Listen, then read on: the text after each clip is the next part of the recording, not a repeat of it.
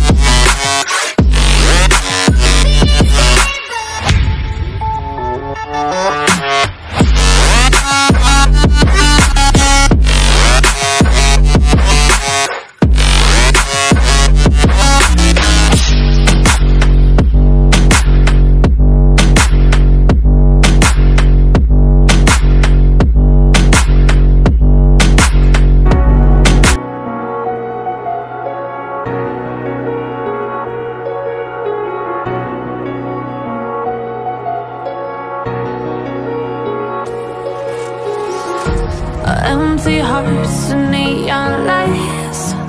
They're playing with my mind. Gotta get out of here tonight. Oh, I wanna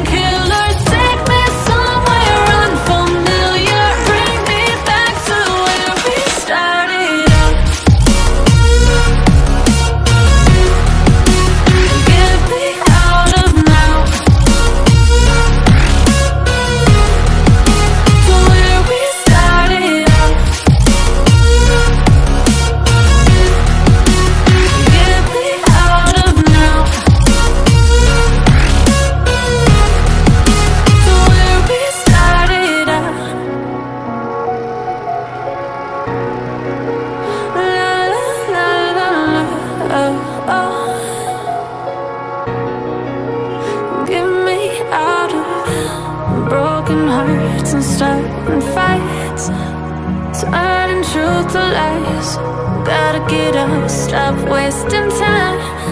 Yeah, I wanna run off and fly.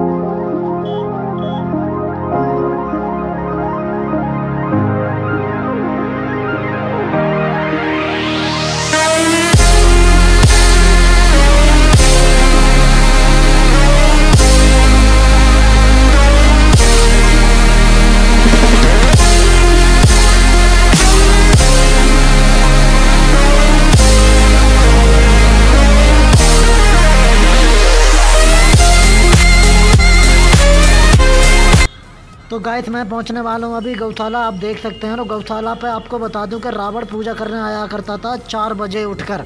और आपको फिर किसी दिन दिखाएँगे गौशाला दुधेश्वर मंदिर कैसा है, कैसा नहीं है। ओके गाइस चलिए मिलते हैं नेक्स्ट वीडियो में, तब के बाय बाय